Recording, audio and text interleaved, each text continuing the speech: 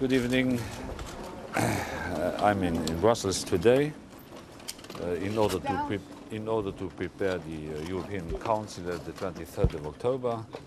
I had a meeting this morning uh, in Luxembourg with Commissioner Olli Rehn, then a, uh, a meeting with uh, the President of the European Council, Herman Van Rompuy, and then I had a meeting with my good friend George Papandreou. We were discussing all the relevant um, issues, noting en passant uh, with uh, great um, satisfaction that the Slovakian parliament has voted uh, in favor of the EFSF this afternoon, which paves the way to further steps uh, uh, to be uh, taken. I made it perfectly clear in all the meetings I had today and mainly with the Greek Prime Minister that um, all those who are speculating that Greece could be obliged to um, to leave the euro area uh, are misled in their judgment. This will not happen as it will not happen that we will have to face a Greek uh, default. Everything will be done in order to, to maintain the uh, financial stability of the euro area will be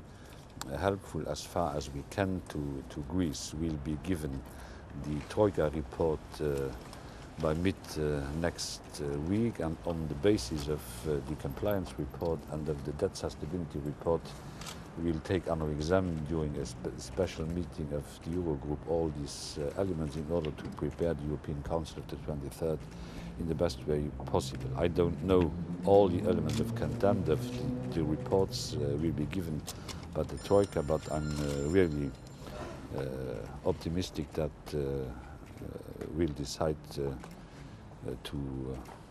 to have the sixth tranche being launched. Uh, thank you, Jean-Claude. Uh, as you said, this is a, a time when we are um, um, have uh, very important challenges ahead of us, and uh, I would also like to um, salute the decision of the uh, Slovak Parliament. Uh, it shows that even though in very difficult decisions and very complex decisions, we have the will, in the end, to make the necessary decisions to move forward. Um, amongst them, of course, are the decisions we are making in Greece.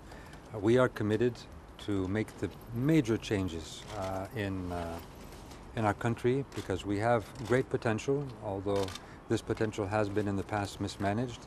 But that's why the Greek people want these changes, so that we go to a viable, uh, uh, sustainable economy, uh, one that's competitive, one that is also just and transparent.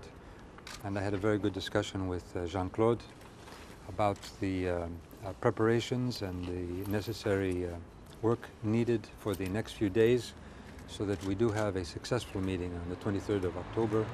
Uh, this is, I think, um, our challenge, but it is also, as, as, you have said, one I think we can meet uh, in the best of ways. Okay. Thank you. So thank you. How much do you think we're going to need? Is the new plan going to be bigger than 159? I, I don't want to uh, to, to speculate around uh, these uh, kind of questions. All these uh, things will be dealt with in the course of uh, the European uh, Council.